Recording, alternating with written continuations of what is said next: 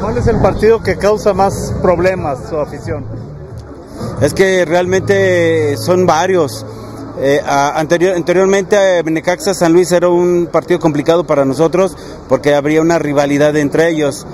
Se ha dado el, el Necaxa Monterrey, Necaxa Tigres, eh, arrastra gente, por ejemplo América, arrastra gente ahora Chivas, pero son creo que los partidos de mayor eh, conflicto para nosotros, Cruz Azul, pero donde hemos tenido incidencias ha sido contra San Luis, Tigres, este, el Atlas que se dio y lo que puede ser, eh, no, pues son los únicos que hemos tenido algunas incidencias eh, en años anteriores. ¿León? No, en su momento era muy tranquilo, pero creo que era más San Luis que León. Pero sí, estamos preparados y atentos. Sí, eh, bueno, prácticamente siempre ha sido la seguridad, dependiendo del nivel del partido, es como nosotros trabajamos pero en ese tiempo fue una, un conato realmente que afortunadamente se pudo sofocar de manera inmediata, pero sí eh, queremos que no vuelva a repetirse y estamos atentos a ello.